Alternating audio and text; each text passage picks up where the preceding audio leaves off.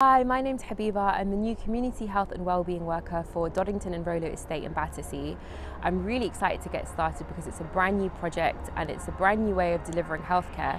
So what I'll be doing is I'll be knocking on people's doors and finding out about how they are and see if they need any help with things from their mental well-being to housing to general healthcare, encouraging them to go for screenings, maybe just giving them company if they feel lonely. So yeah, I'm really excited for this project to start and start knocking on people's doors.